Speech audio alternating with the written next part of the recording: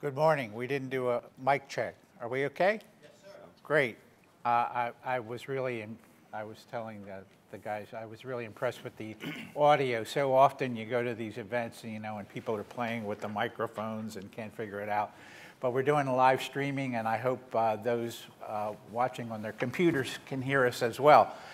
So, uh, Good morning to you all. Uh, it, it is my job. You have, uh, you have the bios of these folks here, but uh, as you're looking to your, uh, to your right from the end of the panel, we have Senator Paul Pinsky from Prince George's County.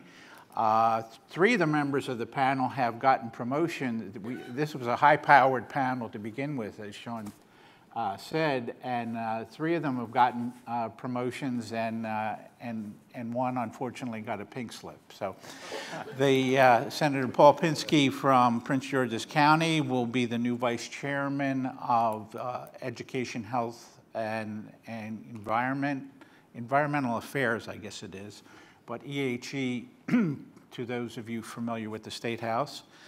Uh, Senator uh, Rich Madaleno from Montgomery County is the incoming vice chair of the Budget and Taxation Committee. Uh, Delegate Anne Kaiser continue, will continue as chair of the Education Subcommittee in uh, Ways and Means, which is the policy area uh, for education, and she will be the new majority leader of the House of Delegates. And Delegate John Bohanan has been a longtime expert on education uh, in the House of Delegates. And, uh, and John will not be returning to the House of uh, Delegates, but uh, has as much knowledge on education as, uh, as almost any member of the House. So uh, we're going to we're going to start out where the last panel actually left off. If you've been uh, if you've been watching, and that is uh, funding and uh, what do you folks see as the prospects for funding for education as uh, as we head into a a new uh, Republican governor? Senator Pinsky? The, the basic formula, Thornton funding, is formula driven, and I don't think any of us expect a, a major change in that. Um, and that actually will be under review over the next couple of years to, to review uh, the adequacy, uh, whether the funding formula is correct. And again, the, the the budget side of education, my colleague in the Senate, uh, Rich Madaleno, has been the expert on that. I've, we've been dealing with the, the policy side. Obviously, there are a number of areas that have already been discussed in the public, school construction. That's a, a big variable, and there are a great deal of needs across the state, uh, and how that's funded uh, is to a large degree left to uh, the incoming governor.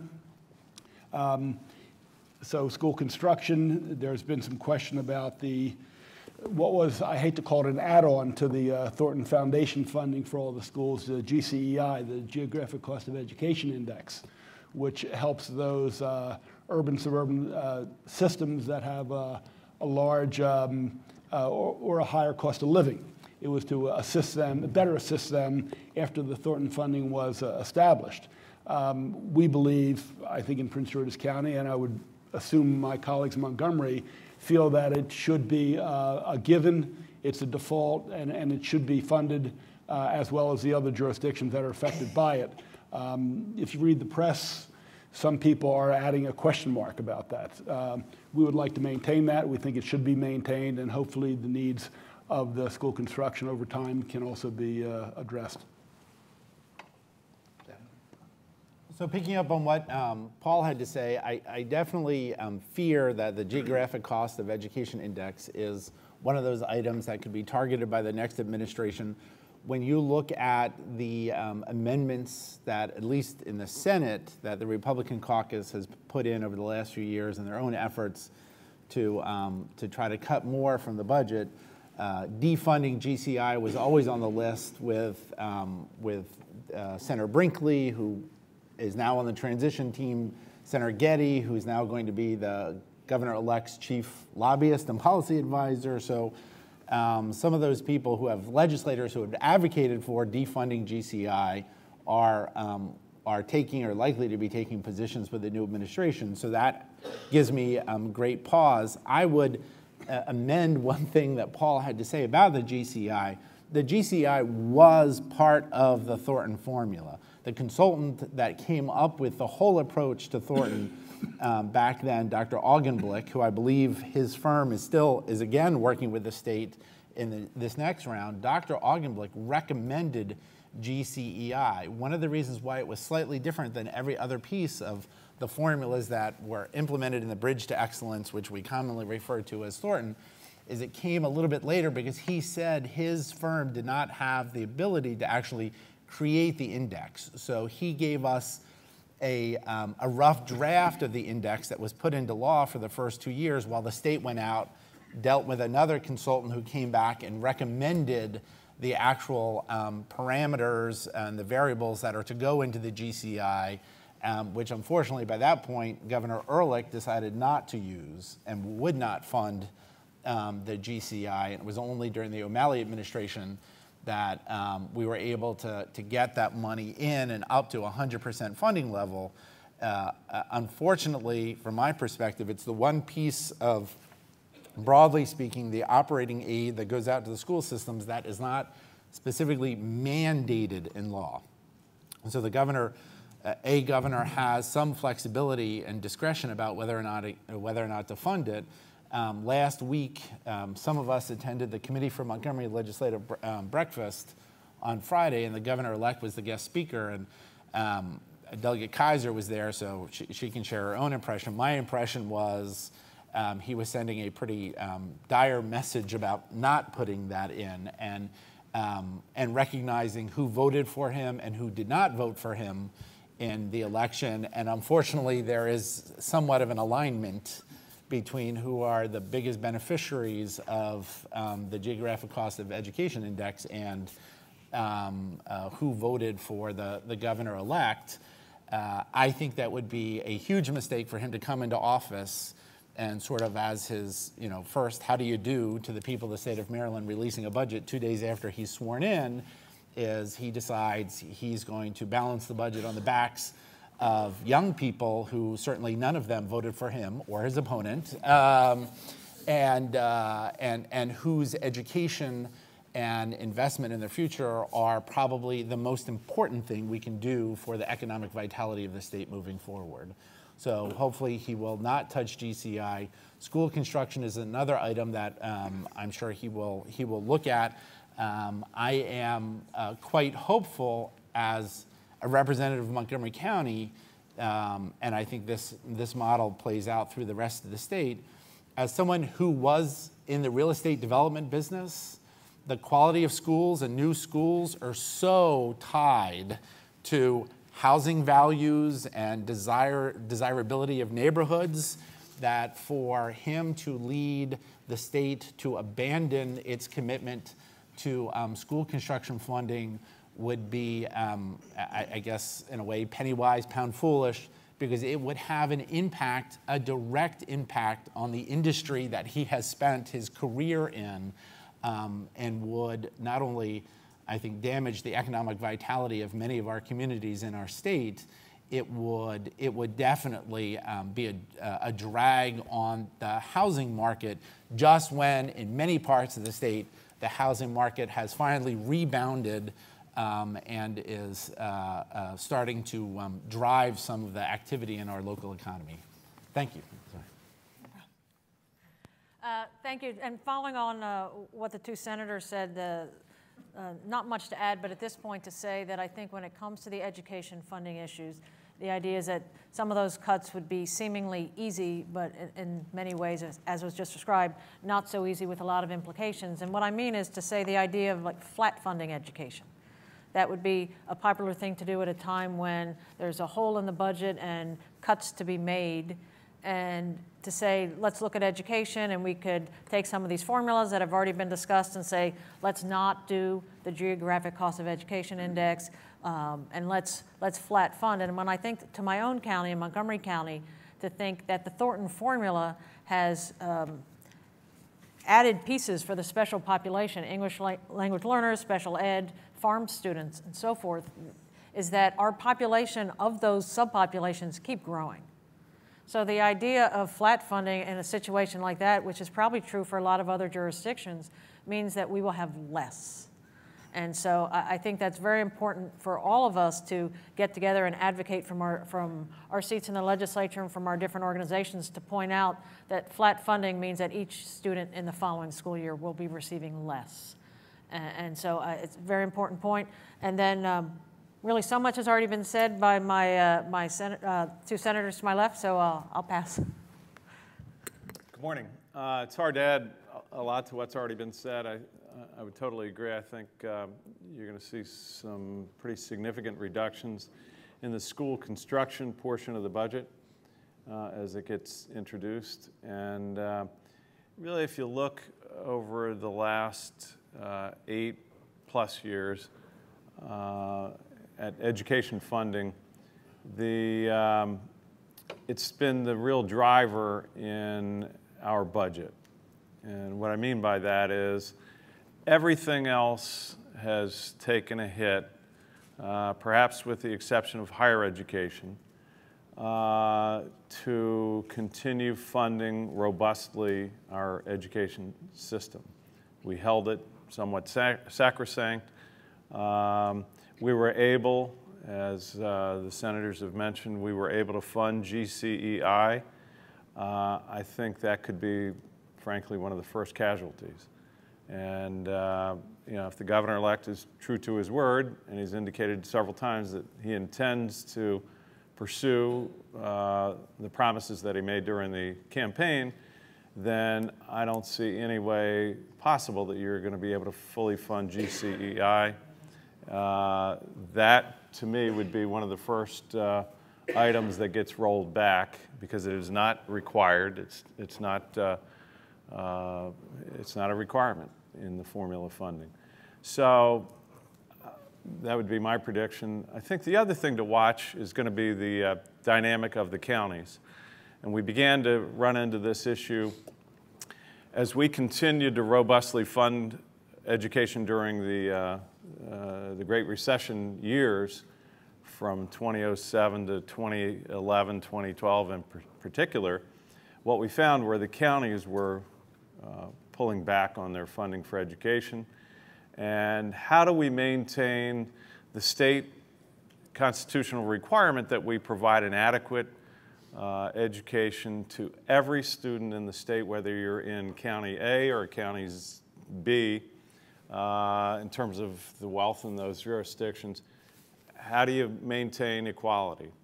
And it's difficult when the state formula is trying to drive some equities, but the counties are funding at a much different level, in particular the maintenance of effort. Uh, maintenance of effort, uh, as most of you know, doesn't necessarily mean that you're going to be keeping up uh, when the state's providing some real robust funding. So, uh, with that, I would just say, you know, those would be the two that in particular that I would watch for as uh, you move forward and the new budget gets introduced by uh, the new governor. The, the panel just before this uh, basically said, well, we need to, you know, continue to fund uh, the, the Thornton aid to education.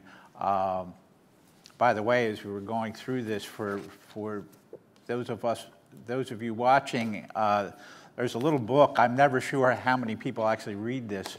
It's called Issue Papers 2015 Legislative Session. Uh, the, the people at the Department of Legislative Services put it together, and uh, the section on education, which goes for about 20 pages, is actually a good summary of, of all the issues that we're, we're going to discuss on this panel today, um, both from a funding perspective and a policy perspective. But the, one of the real questions is, given that, that most of the, the legislators on this panel are basically going to support continue funding for, for Thornton, but if you're trying to balance the budget and you've taken tax increases off the table, and you say you're not going to do any of the, the, the budget gimmicks that have been done, in other words, taking the money out of the, the open space funding and things like that, where else in the budget are you going to look for, for savings if you're going to try to find savings? Uh, I mean, I, I know it's not education related, but it is related to education because if you're trying to, if you're trying to balance the budget, and, and maybe we'll start with uh, Senator Madaleno on, on, on- on this. Uh, The, the incoming vice chair of budget and taxation. Sure. Um, And I just want to uh, also remind everyone, because um, Delegate Bohanan talked a little bit about maintenance of efforts, and, um, uh, and remind people that in the 19, in the early 1990s, when um, Bobby Neall who was the senator, delegate, and at that point was the county executive of Anne Arundel County, and I'm sure Delegate Currie, or Senator Currie remembers this as a member of the House, Delegate Gutierrez remembers this as a member of the Board of Education, Senator Pinsky remembers this, um, that um, Bobby, um, Bobby Neall pushed for something that became known as the Neall Amendment, would actually, which actually for two years um, exempted everybody from actually meeting maintenance of effort. So it gave all of the, uh, the local governments a two-year pass on maintenance of effort. Um, he's now the governor-elect's chief um, policy advisor, so hopefully, or budget advisor.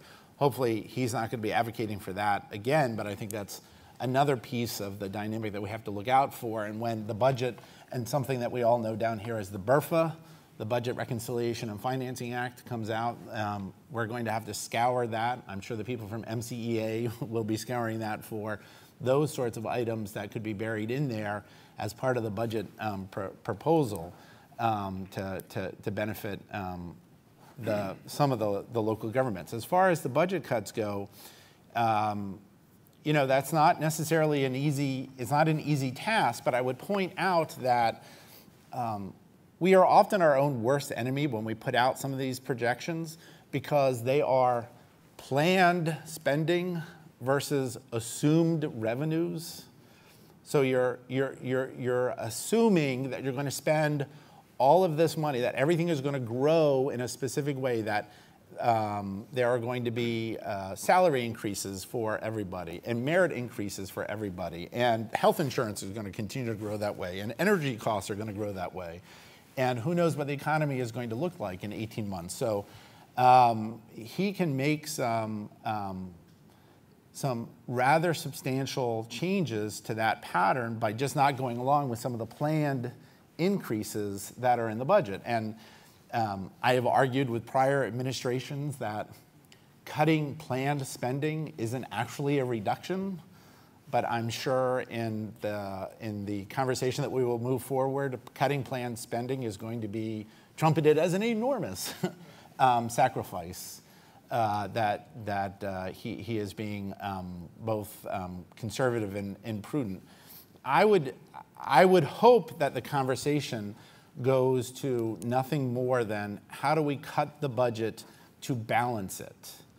My fear is I don't think we should be cutting education and cutting off our children's future to lower taxes, when in fact we already have um, a modest tax burden in the state of Maryland. We just happen to do it through the income tax. But um, there are going to be two different debates coming up potentially this year and over the next four years. Are you just cutting the budget to balance the budget, or are you cutting the budget to cut taxes and taking money away from the progress we've made in helping out the Baltimore City school system, helping out the Prince George's County school system? We shouldn't be cutting services to those young people and cutting off their opportunity for the future in, um, as a way to pay off tax cuts for the wealthiest amongst us. And hopefully that is not what the next few years is going to be about. Senator Pinsky has a, has a comment to make. I also think we have to address the issue, excuse me, I'm coming off of a cold. I think we have to address the issue of tax expenditures. I know we're hearing we have to cut, we have to cut, we have to cut. Uh, unfortunately, for example, last year, and with all due respect, I I think the legislature passed a foolhardy um, uh, issue called the uh, cut to the estate tax. Um, I'm not sure why it was done. I voted against it. Be that as it may, if we freeze that cut and don't continue with the phase in of the estate tax, we can save $249 million over the next four years. So we don't have to reverse it and go backwards. But if we freeze it and don't continue with the phase in of the estate tax, which essentially uh, favor 3% of the population, 3% of the population, if we freeze it at this point and say, you know what, maybe in hindsight it wasn't so great, we have a shortfall in our economy, we have to uh, uh, fund education, maybe we should just hold it at that. So I, I think we shouldn't just limit the conversation to what we're going to cut because there are only so many crumbs. So the question is, whose ox gets scored? Uh, mixing metaphors here. Um, sorry. Uh, and, and, and there are other issues as well, which some people don't call um, uh, reversing taxes, it's closing loopholes. So we think there are plenty of opportunities that we can save revenue, uh, fully fund education, and not harm those people in the safety net. Because when you look at the budget, and again, I'm not an expert, uh, I have other experts here, um, between education and uh, healthcare and other, some other safety net issues, that's an overwhelming majority of the budget. So uh, if we have to uh, reverse this uh, tax benefit to 3% to maintain the budget, not improve the budget, maintain the budget uh, as it is, I think that also should be uh, part of the conversation. You want to weigh in on this? Uh, No. You- Jo- John? No, yeah. Okay, so uh, what about maintenance of uh, effort? That's really a, that's really a policy uh, issue. There, there's been significant, well, there are people who say there would be there's been significant expansion of the requirements on, on the counties. And since Sen- Senator Madaleno brought it up, that uh, former Senator Bob Neall had proposed that, uh, uh, I was not aware of that, but that certainly sounds like something that uh, they would extend to the counties as a way of perhaps reducing other kinds of aid. So uh, it doesn't cost the state any money to say, well, we'll give you this break, uh, but it's something that would have to pass the legislature, correct? And, and which committees would that fall under? The, the maintenance of effort uh, requirements for the counties. Previously, it was, I I believe it was jointly assigned on our side between Ways and Means and Appropriations with- with Ways and Means as uh, the first, the primary, and then it was on the Budget and Tax Committee. Uh, To to go beyond that, uh, the the classic debate in- in education funding is the idea of supplement versus supplant. And from the state's perspective, to fund, to help local jurisdictions fund their education, and then to simply have those local jurisdictions take that money and then move their own funding elsewhere, kind of violates the whole premise of state funding uh, of education.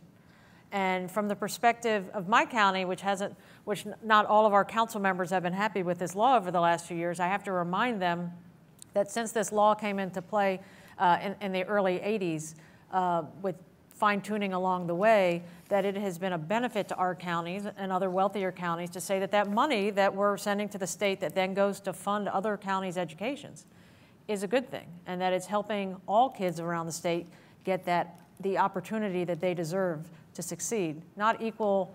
Um, not equal results, but equal opportunity, and to remind people that that's the idea behind it. When that money goes there, they should be maintaining their own education funding. And so I think, again, that goes back to our, the state role and what we should be doing to, to help uh, the local jurisdictions. And, and again, it goes back to being on the backs of the kids to say that that would be the cut, that we would allow a blanket waiver to the local jurisdictions so they could cut their own money. Um, again, we're, we've been number one in this uh, nation for five straight years in education. And a lot of that has to do with our uh, strong funding and ensuring that high-quality teachers are, are in as many classrooms as, as we can get them into. The other thing I would just add, and uh, the other two gentlemen here who uh, also did a lot of work on the maintenance of effort legislation, a lot of the uh, criticisms we received over the last few years is that we made uh, the bill less flexible, when in fact, we made it more flexible. We, ma- we made positive changes to maintenance of effort. We made it easier to get the waiver. Uh, we added in a piece that I believe came from Delegate Guzzone in terms of how we were dealing with those with higher uh, levels of effort would have an e- easier opportunity to reduce by 1, 2, or 3 percent their maintenance of effort under certain circumstances. And I believe he came up with that formula. And what we are really proud to do, which really came by the speaker's idea, was what are we doing about low effort counties? You could be a county every year meeting maintenance of effort. Inflation goes up, you're still paying that same amount per student, and, some, and we're saying that's okay? That's what maintenance of effort is? No, when we put a provision in the bill that's been much ignored because the economy hasn't gotten better yet, but near the end of the, the legislation was a piece to say that when the economy gets better, you low effort counties have to increase your investments in education. Because again, if you're expecting the state to help you, you need to do more for yourself when times are good. So. With, with a number of counties facing deficits this year, are we in a situation where they could request uh, waivers? John? I mean, I think you're going to see growing uh, disparities, growing pressures from the local jurisdictions uh, to avoid trying to keep up with state funding for education. One of the problems that we have, Maryland is pretty unique in the sense that the Constitution requires equality across the state for education funding. And it's difficult to do that when you have some counties who haven't wanted to fund education as robustly as the state has done since the implementation of Thornton. That's really what we've run into uh, since the adoption of Thornton. And if you look in today's Washington Post, there's a story about uh, the, what is it, the Virginia, I mean, the Commonwealth Institute did a uh, report talking about the poor schools in the state have borne uh, the brunt of fiscal decline in funding for education. In Virginia and in many states across the country, education funding has been slashed pretty significantly since 2008 as uh, revenues have declined. What that has caused in Virginia is a great disparity. And they said that the poorer jurisdictions have lost three times as much funding for education as the wealthier jurisdictions. All right, in Maryland, we try to keep that in balance, in check. And uh, we do that through maintenance of effort and through some other mechanisms. But the problem is, as that disparity grows, ultimately it costs the state more money because the state for funding formula says you've got to keep some balance. Whether you're in Montgomery or Howard County or name two of the poorer jurisdictions in the state, it doesn't matter. You're entitled to the same level of education in theory. That gets very expensive when that gap continues to widen. And you have counties, and, and we've used this argument many times, 11 of the 24 jurisdictions lowered their taxes during the last eight years. Uh, they wanted to give folks a tax break, and that's great, good for them. But that cost them, they're some of the same ones who said, we can no longer afford to keep up. We're asking for relief on maintenance of effort. And at the state level, we've gone in the opposite direction. We've increased taxes in order to do one thing, and that is fund education. That's a growing disparity that I don't know how you're going to address it going forward. Uh, I'll leave my good colleagues to continue the good work on that, but uh, uh, it's, it's going to be a real issue here in the state of Maryland. And again, we're somewhat unique in the sense that uh, the Constitution requires us to keep it balanced no matter which of the 24 jurisdictions uh, a child grows up in, he or she is entitled to the same, constitutionally re- entitled to the same level of, uh, uh, approximately the same level of education. One of the points that Delegate Kaiser made in her presentation about the changes that we made in the law um, two years ago uh, is, is very important. The idea that we provided um, a more robust system for the school systems, the local governments, and the State Department of Education and the state school board to come together to work towards a county, a system by system, a county by county solution to these problems. Um, the, the, the old law, um, unfortunately, didn't have, I think, these sorts of years and economic circumstances um, uh, assumed within it. But now you can come in and if a county is having a, a specific problem because of the, of the economic condition, uh, of their economic condition, they can come in and come up with a multi-year solution to their, to their problem. But they can do it by negotiating um, between themselves and the state and the rest of the, the stakeholders within the school system to come to a solution as opposed to a, um, the, the, um, the, the prior system, which I'm trying to think, which is a, what is a sledgehammer approach to, um, to, to, to undoing maintenance of effort, like a legislative action that just exempts everyone from maintenance of effort, or the old system, which just said you could come in, ask for a waiver, but then next year, of course, things will go back to normal and you're supposed to go up to that, that new funding level. So it's a much smarter law, thanks to Delegate Kaiser and Delegate Bohanan, um, that we have uh, moving forward. So it should be one that if a school system wants to use it, they should do it. However, when you look at the commitment to education, I mean, we called um, in 2002 when the General Assembly passed the Thornton formulas, it's the bridge to excellence. We have crossed the bridge and found excellence. Delegate Kaiser said for five years, we've been the number one school system. If you want to dismiss the Ed Week rankings, I think there is a consensus. We are a top five public system um, in, the, in the state, in, in the country. We have delivered. You have delivered with that promise to our young people. We have very little else um, as a basis for economic growth in the future besides our human resources. We're not sitting on oil. We're not sitting on other resources. You can only, you know, the Chesapeake Bay is fabulous, but you're not going to grow the economy on crabs and oysters. You're going to grow the economy on the skill of the people that live here. When you look at the countries around the world that we are competing with, they're not high resource countries, they're high intelligence countries. And this is an investment in those young people who will never have a second chance. When I look at my own kids, they're hopefully not going to be doing sixth grade and second grade again. This is their one chance at, at, at doing that, those grades and developing those skills.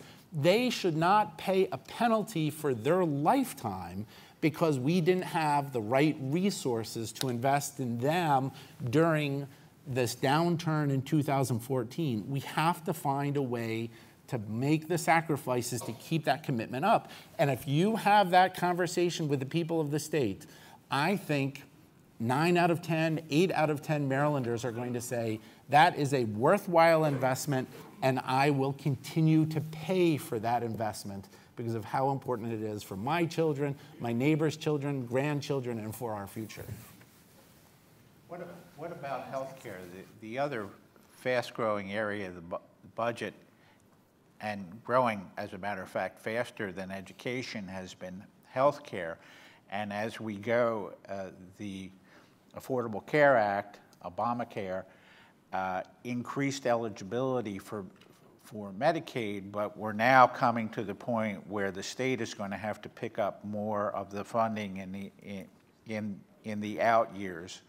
Uh, I'm, I'm trying to present a situation that uh, you know, if, if you want, if you take tax increases off the table, that it's a zero-sum game, that uh, uh, you, you, you can't continue, increase the funding. The, the current estimate is that funding for education aid would go up about $180 million uh, uh, next year. Are there areas like healthcare where we've also increased taxes uh, on tobacco, alcohol, allegedly to increase healthcare spending? Uh, uh, is that is that an area that we have to take a look at? for pullbacks in, in order to continue funding education? Well, I, for one, am going to be introducing legislation to actually increase the cigarette tax by a dollar a pack to dedicate that $100 million for healthcare um, in the state to try to keep up with that demand and to um, continue to push down tobacco use. It's been a huge success. Our public policy effort in raising the tobacco tax and driving down smoking has been a huge success um, since the Glendening administration. Now, I would say from a healthcare front, one of the, my favorite briefings of the Ehrlich era, and Delegate Bohanan and I were both in appropriations, when their Secretary of Health came in, Nelson Sabatini, and he talked about cost shifting. And the idea that if we pushed people off of Medicaid, those people would not have insurance, they're still going to get sick, they're going to be uncompensated care, um, that's going to be built into everyone's insurance costs. So your taxes will go down, but your health insurance will go up. But probably the one group that's despised more than government is health insurance. so, so that you're going to wind up uh, being angry with the insurance companies, but the insurance companies exist sort of in this never world of, of misunderstanding by the public. So they get angry at them. You don't vote for your insurance company. So I, I think we have created, in fact, a more cost efficient system through Obamacare by providing more people with access to insurance and actually um, reducing the amount of uncompensated care, which we all pay for.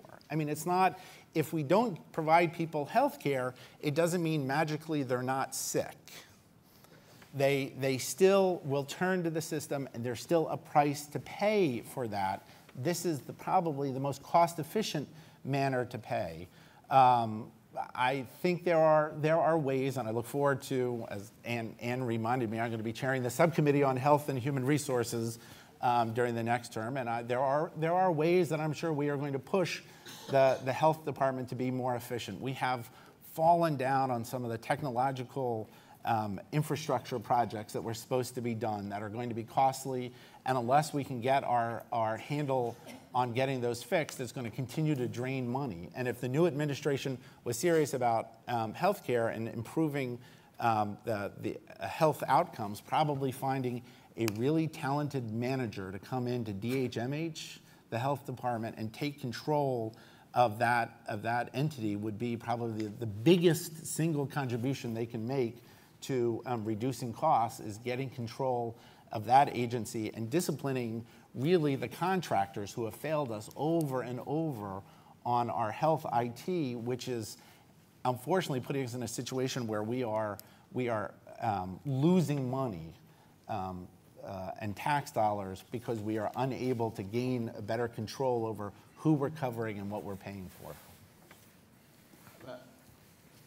We want to move on to the policy area, but we haven't, but, but, but we haven't uh, fully dealt with the, the school construction issue in the context of the, the capital budget and, and the debt service. I mean, is that, uh, is that an area where uh, cuts really have to be made just on the basis that, that the, the debt service has, has grown so high.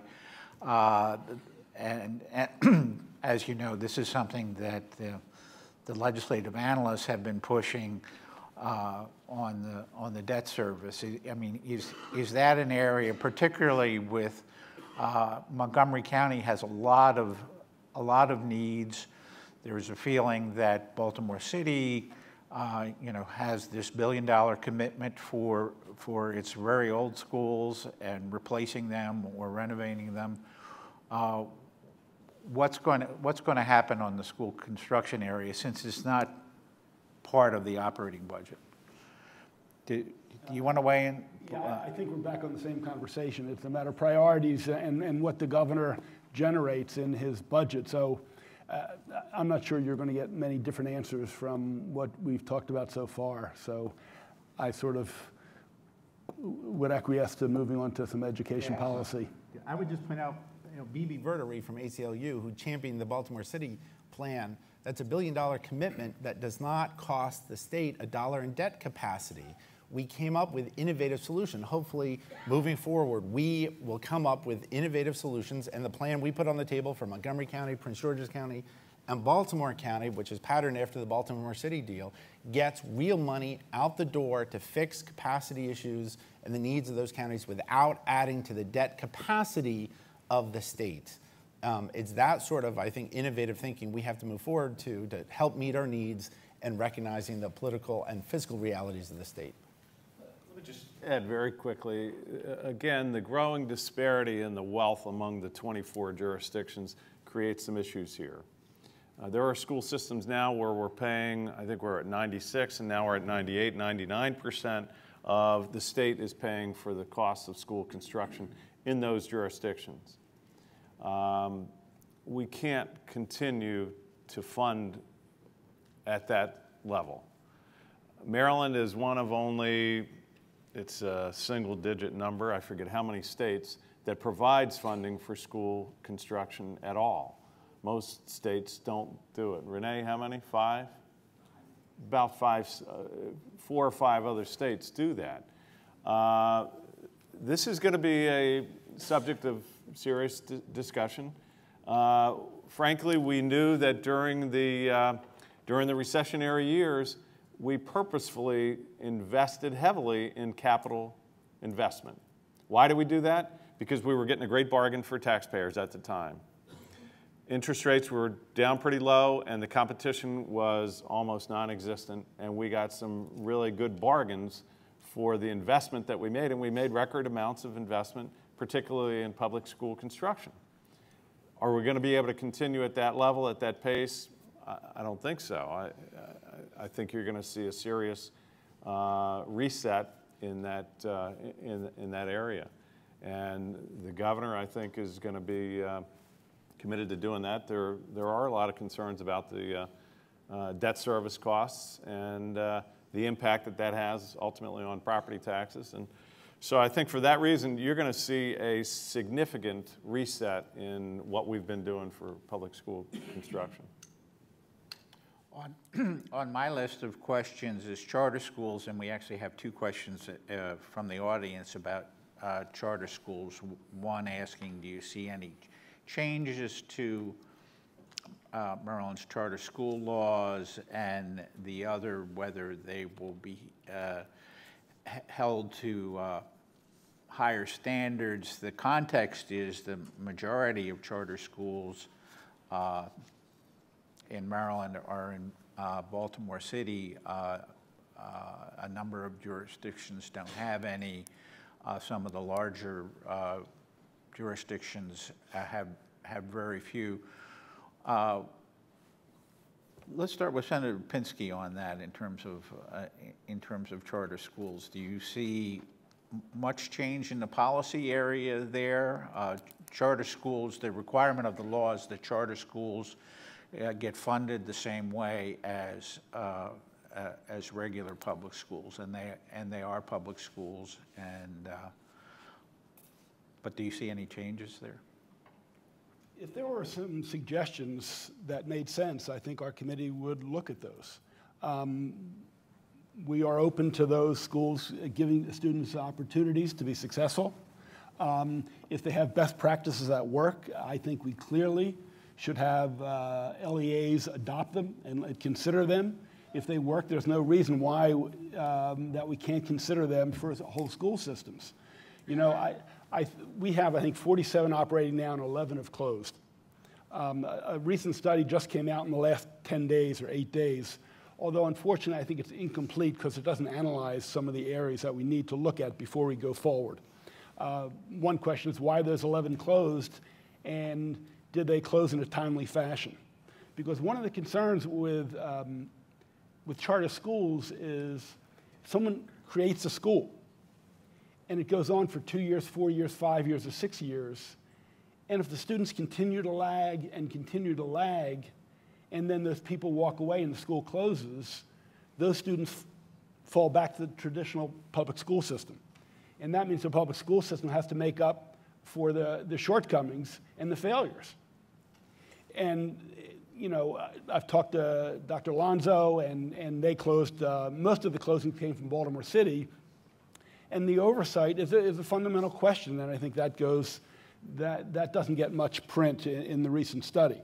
Um, the stud, What's the study? the legislature um, passed legislation two years ago for a complete study of charter schools, what they're doing right, what they're doing wrong, the demographics, the numbers. Uh, w- one of the outcomes showed that for fourth grade, the uh, results using state tests, um, the uh, scores for charter school uh, students versus other traditional students were very comparable, very little difference. At middle school, the charter schools showed an improvement. As I looked at the numbers, however, across the state, and you're absolutely right, Len, that two out of every three are in Baltimore City, and if you include Prince George's County, three out of every four are where there's concentration of poverty. You know, they haven't taken off in the other 22 jurisdictions. There are a couple in Anne Arundel, a couple in Frederick, but essentially, it's where there's concentration of poverty. And schools have had difficulties recruiting teachers, uh, principals, and having other challenges. So if, if the market speaks in the other 22 jurisdictions, it hasn't spoken very loudly. Now, some would say it's because it's very difficult for uh, charter schools to open. They do not get money for bricks and mortar. That's absolutely true, and some people say it's a concern. But as a legislature, we had to decide if someone wanted to open a charter school and asked for money for bricks and mortar, and then two years later they walked away, who holds the liability for those schools? Well, the state does. So we decided not to, not to give that authority for the bricks and mortar, only for operating.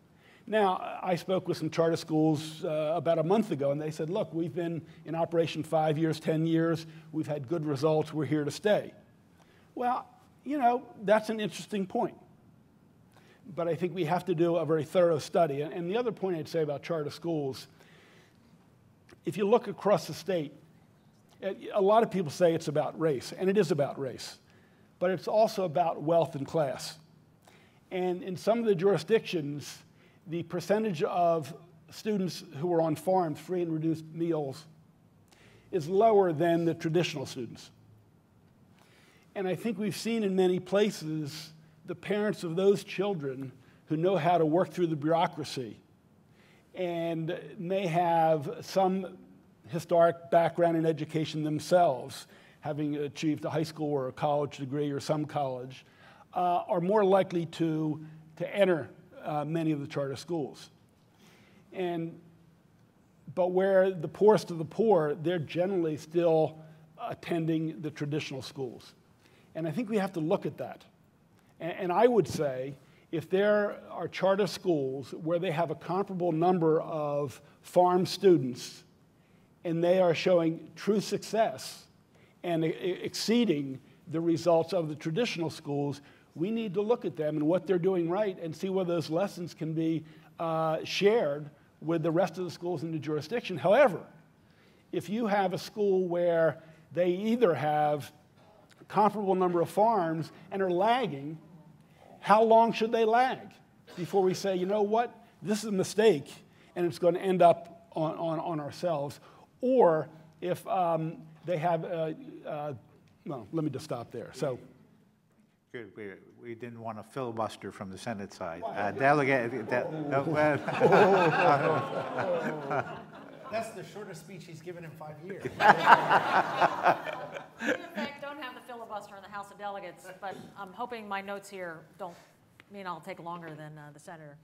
Uh, In terms of charter schools, I think it's how we, how we look at things uh, philosophically. A- And for me, what charter schools provide is that experiment. It provides the, those alternatives. We know that not all children learn the same way, and charter schools provide us an amazing model to test something new, try something new, something for, for a given population, and I think it gives us a chance for best practices and to say maybe that's something we can do in other schools.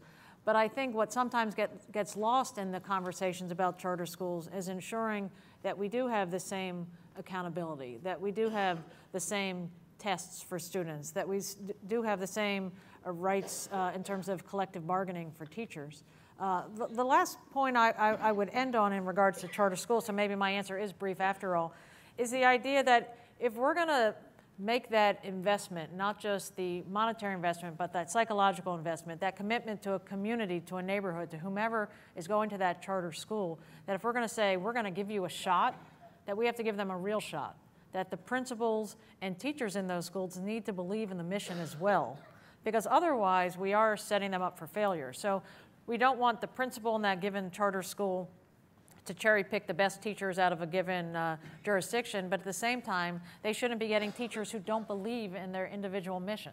And I was having that conversation uh, recently with Sean at MSEA and saying, I'm not sure what that balance is and how we write the law the exact right way. How do we ensure that they get people who believe in their mission, but not necessarily taking the best teachers from all the other schools? And, and that's something I look forward to working on. Uh, Moving on to probably one of the most controversial topics in the last couple of years, uh, Common Core.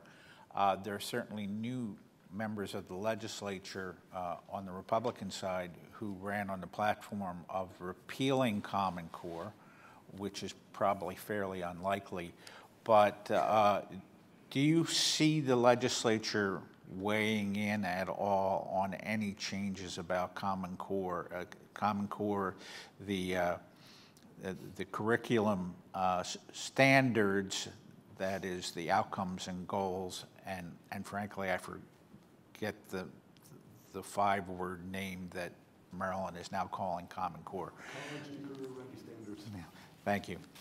Uh, Do do you see the legislature weighing in at all, uh, except on the periphery where it weighed in in terms of using the Common Core evaluation test for teacher evaluations and things like that? But uh, the legislature didn't essentially do anything to de- delay its implementation.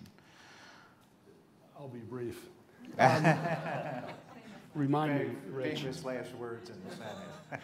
He's been around for a number of years. Yeah, I don't expect any change in the, um, trying to abridge the um, college and career standards. And again, it's not a curriculum, it's a standard, it's, it's outcomes. And, you know, around the country, when people, critics have been asked, what should be done differently? What should the standards say? Which ones would you take out? Usually there's a very long silence because no one has a specific uh, problem with a standard of whether kids should know geometry or understand how government works or whatever it might be.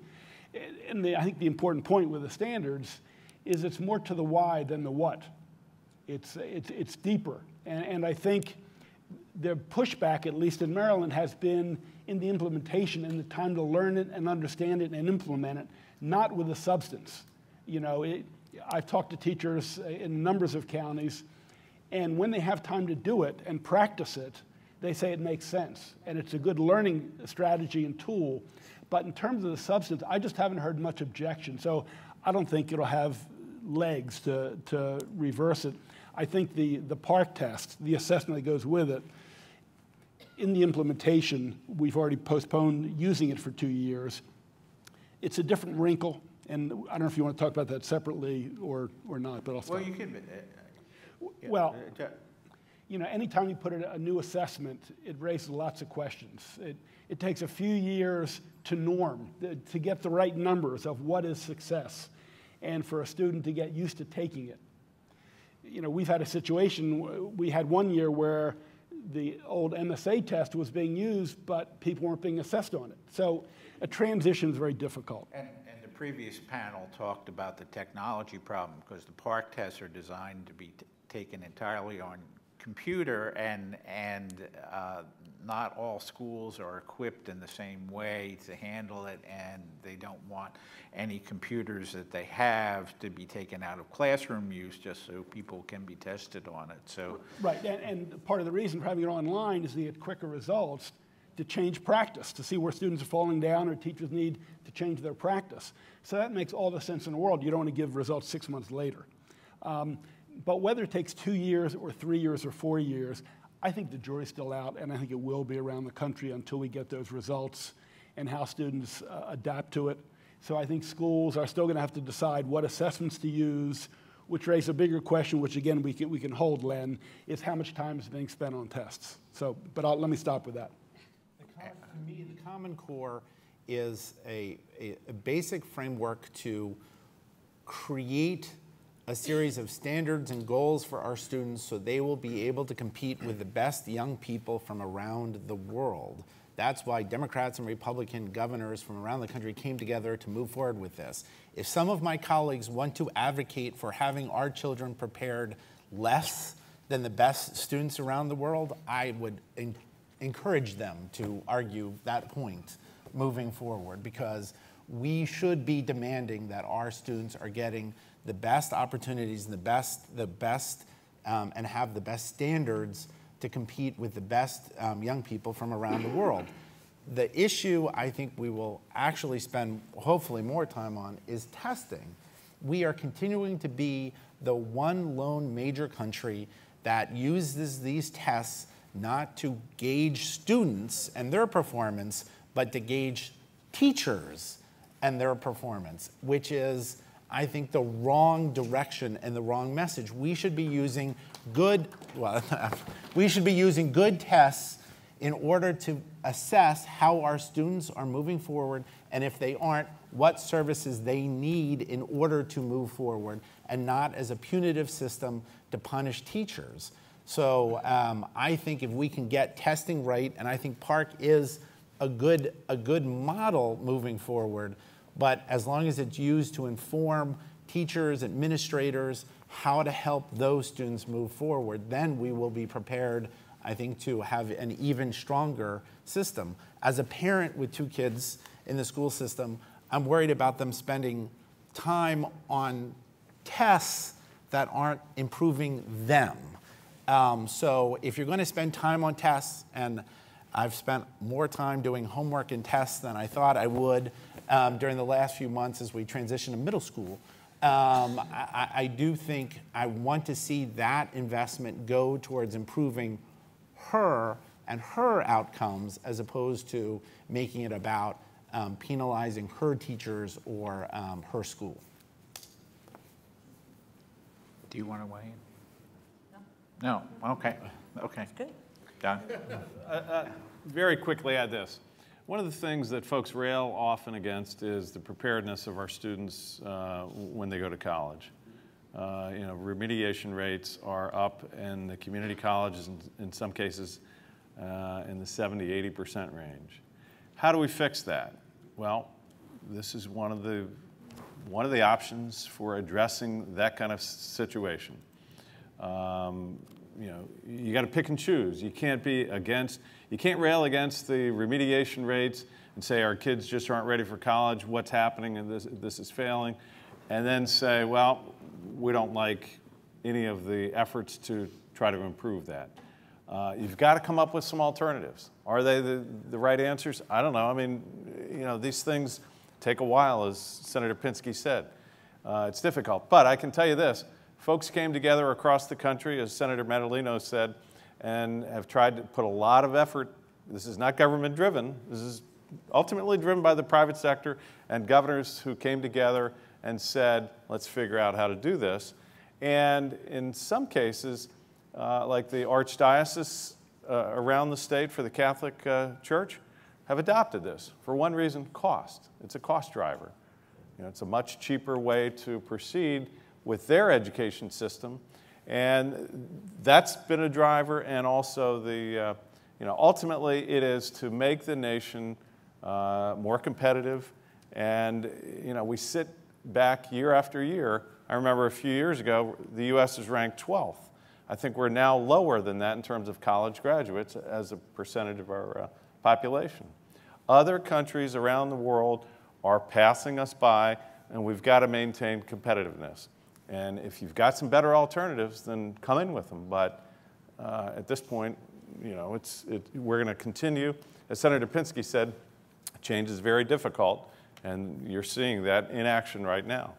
Uh, maybe there's a better way, but uh, you've got to come up with some better alternatives rather than just being against everything. And the PARCC tests, if they work the way they're supposed to, teachers are supposedly going to be able to see the performance of individual students, and the problems with, the problem with the, the Maryland school assessment in the past was that, that the, the scores were delayed for a long period of time, and you had kind of a bulk assessment of a class as opposed to, uh, as Senator Madaleno was saying, helping the individual student, seeing where, where the, uh, the individual student was, was falling in that category. Uh, uh, Two things that will come up, and I'm going to ask them in terms of the school starting before or after Labor Day and high school start times, to say, does the legislature have any role in this at all, what are typically local, local issues? Many people ask us to have that role, uh, but I, I think that these really are issues of, of, of local control. And um, that dividing line between where the state uh, interjects in policy and where we say it's local control is not always an easy line to divide. But, and, and so I can't always explain why something falls on, on one side or the other. But to me, these very much are local issues, and we should leave them to the 24 jurisdictions. I'm going to, I'm to, agree with, with my colleague, and that's about the process. But its substance, this is ridiculous. It is simply ridiculous. You know, there's a bumper sticker that says, people before profit. Well, it ought to be kids before profit. You know, to, to, to pass a, to pass a state policy to help a community, a business community, increase their profits is absurd. You know, in fact, I believe that we should be looking at year-round schools. You know, we're not an agricultural community anymore. We should be looking at creative ways to engage students three months on, three weeks off, whatever it might be. Some areas have tried it very successfully. There's less of a lag time for student learning, and there's more of a, a continuity, and you can actually help with students over uh, the holiday breaks, whether it be the Christmas or winter break or the spring break, Easter, whatever it might be. I don't want to get into how we're going to designate this holidays, but, but, but to adopt the policy so people can still either attend the uh, summer vacation or be able to work there and try to foist that on the state of Maryland, I think it is shameful. And I think we ought to reject that as strongly as we can and tell people, you know, let's put kids first, not your small, narrow economic well being for one community. So I think, besides the process, which I agree, I think uh, substantively it is embarrassing. And if people are unclear where I stand, Uh, There was an article in the, the uh, Capital newspaper uh, uh, probably yesterday. In any case, uh, the, uh, the new father-daughter team in, the- in the legislature, Senator Bryan Simonaire and his daughter uh, Delegate-elect uh, Meagan Simonaire will be introducing a bill to keep Christmas in the calendar. The, the odd thing is they come from Anne Arundel County, which still designates Christmas as the holiday in the cal- calendar, one of the 10 counties. Uh, we ran a story from Capital News Service that Maryland Reporter did that, that there are 10 counties that maintain the names of the religious holidays, and there are 14 counties. It became controversial when Montgomery County uh, did it. Uh, Apparently, uh, in a number of places, the Muslim community has requested having their, their holidays listed, but, so there will be legislation uh, introduced, and it's likely to come uh, before your, uh, before your commit- committee, Senator Pinsky. Uh, uh, the- the- Okay, I think we know Senator Pinsky's position on keeping Christmas in the, uh, in the calendar. Um, I have a question from the audience, uh, kind of unusual, but it's uh, uh, uh, not terribly unusual. There was a 60-minute segment that, that may generate one of those 60 minutes bills we call in the legislature uh, about mental health services. But would you support measures to increase mental health services for students in schools? Yes. Okay. That's a, that's a hard one. Are there, would anybody, would anybody, hoping- uh, It's my understanding that um, the the lieutenant governor-elect, um, when, when outlining what would be some of the priorities of the administration at a forum um, before the election, one of the things that he identified was um, mental health care and the, the state's, um, the, the, the progress that we have not made on um, certainly helping people in mental health crisis, whether it's young people, older people, that we have a big deficit in Maryland about crisis services for people dealing with a mental health emergency, and we have to address that moving forward. And hopefully, the administration will take that seriously and um, put um, muscle and money behind trying to improve um, the mental health outcomes um, for Marylanders. okay. Are there any, any topics that you think are going to, uh, going to come up? I mean, we've actually run through all the issues that the, uh, that the folks at Legislative Services uh, have identified.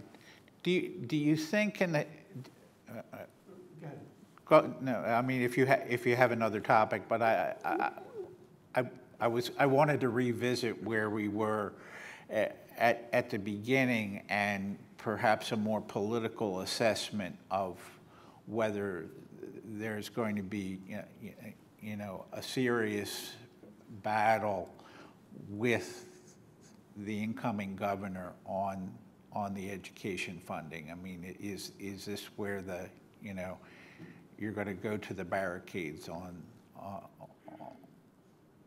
on this? Well, unfortunately, we would go into that battle with one hand or maybe both hands tied behind our back, as my colleagues know on the budget committees. And the oppose a policy where we go into a fair conversation with uh, uh, split power among at least these two, the, the two executive and the legislature. With the budget, the governor introduces the budget, and the legislature can only cut money. Now, obviously, there's some trading quid pro quo with, with uh, uh, second and third budgets uh, that come out, supplemental budgets that come out, but we can only cut. So we But don't. other than GCEI, he, he has to, he has to change the BRFA, which is a piece of legislation where you, you, don't have the same, uh, I I mean, to- in, in order to get the budget to, to balance, you have to get these changes made in the BRFA. I mean, if you want to change maintenance of effort or, or anything in the, in that area. Well, I think, I think, um, I'll go back to something I said before that I think um, my colleagues up here would agree with. Uh, We will be on the barricades if it's cutting education funding um, to give tax cuts um, to the wealthy, the most fortunate uh, around the state. Um, We have to balance the budget. We're going to work through that process with him, hopefully in a collaborative um, fashion. I think all of us through our campaigns said priority number one, education. Um, and that means keeping that commitment because we're actually delivering on that commitment um, to young people, and it's so critical for, for our success moving forward. Um, I, think the, if the governor elect is going to focus on issues around um, economic competitiveness for our state, uh, I think he will find partners in the General Assembly working on ways to diversify our, our regional economy because what do Maryland and Virginia have in common right now? Budget deficits that are being driven by congressional actions or inaction. Um, so we have to figure out a way around how we um, have a more diverse economy in order to weather those sorts of, of, of storms from the federal government. If he wants to just hammer education as a way to cut the budget and cut taxes, I think he will find very few friends in the legislature and even fewer friends outside of the legislature because I don't think that's what Marylanders voted for in, in 2014 in the election. And I don't think it's very smart politically, as, as a matter of fact. I think, it would be, I think it would be very foolish for him. Uh, Governor Ehrlich, I mean, Governor Ehrlich really went after higher education. I mean, we, we saw 50% tu- um, tuition, uh, tuition rise by 50% during those four years. And I think he paid a price um, in, the, in his failure to win reelection four years later. The public supports investments in education because they understand why it's important for both young people, for their families, and for the greater economy. If Governor Hogan wants to make cutting education part of his platform, I think he will find um, the vast majority of Marylanders will not support that. Um, and, and therefore, you're right, it's not going to be politically smart moving forward for him. And he deliberately disassociated himself when it- he- he- there was an attempt to link him with those tuition increases during the, during the early years. And he said, well, I wasn't part of that, and, uh, and, and he allegedly opposed them. Two questions from the audience. I think they may be from the same person, but they relate to, to childhood poverty uh, as a major issue for stu- student school success. And also the, uh, the, it relates to me, a, to- a, a topic that Governor-elect Hogan has talked about, uh, that is the uh, achievement gap. Uh, To a great extent, education aid has been, is, is spread all over. I- Is there, is there a way that, uh, that the state has a role in changing these conditions of poverty and the achievement gap? And why don't we start with Delegate Kaiser on, on this one? Can't we start with Senator Madaleno?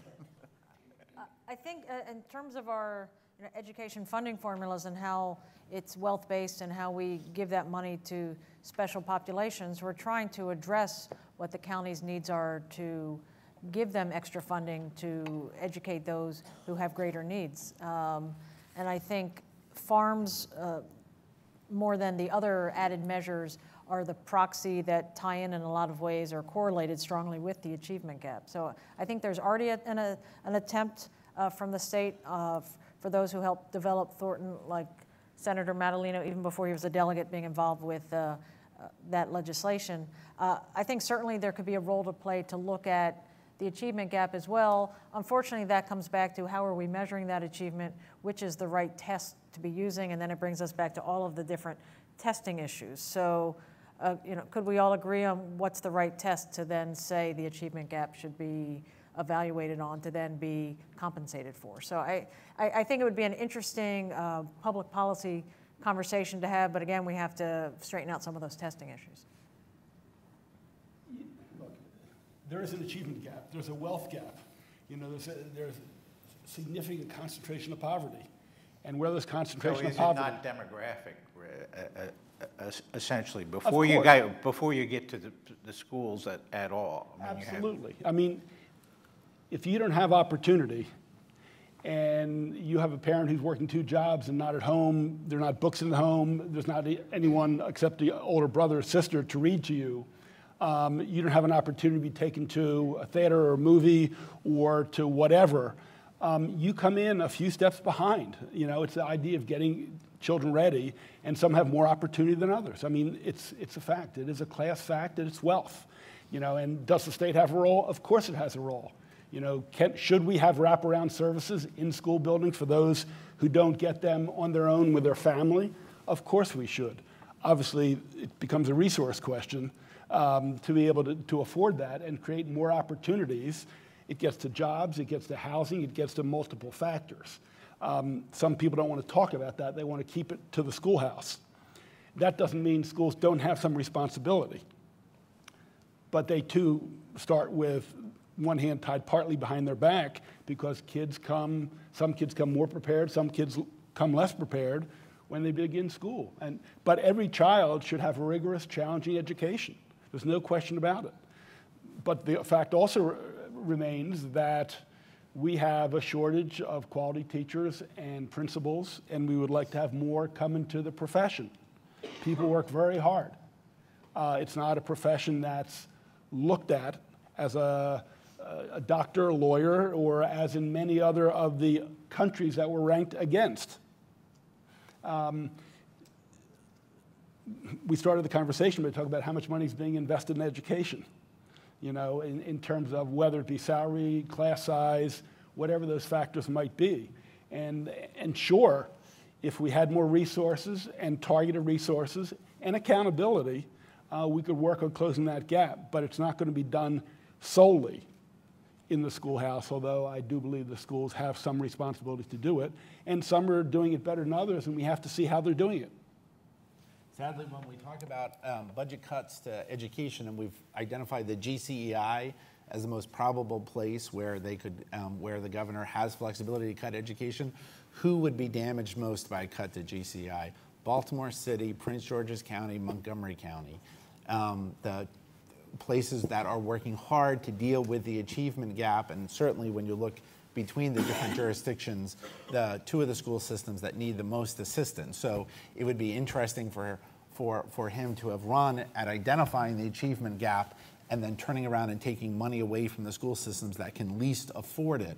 On the side of, uh, on, the, on the front of fighting poverty, um, I believe um, one of the most interesting opportunities that we have right now Washington County has moved ahead with some schools, and I believe Somerset County has moved ahead with all of their school systems in participating in a very interesting federal program that allows you to provide free food to every student. If you have enough students who qualify um, within your school system, then you don't have to go through any of the farm paperwork. You don't have to create the whole system uh, uh of, of, of following that paperwork and billing people. You can, you can pre qualify your entire school system. Next year, we could provide at federal expense free meals for every student in the Baltimore City public school system. It's just about finding and doing the hard work to figure out how we properly um, keep track of the number of poor kids in the school system that are eligible for the, the, the state aid program. But we should be able to figure that out. And I think that would be, that would be an incredible achievement for us all to be able to say that we've come up with a plan that actually reduces administrative costs, reduces bureaucracy, and yet gives free meals for every student in our poorest schools around the state. That's something that I hope Governor elect Hogan runs with, um, and um, all of us are a part of making sure that we are, we are accessing every dollar we can from the federal government to provide those students who have the least in our school systems. That may be the last word because the bell is ringing for the second period and we, uh, we all have to change uh, venue, right? Uh, Delegates Bohanan and Kaiser, Senators Madaleno and Pinsky and Len, thank you all very much. Please thank our panelists.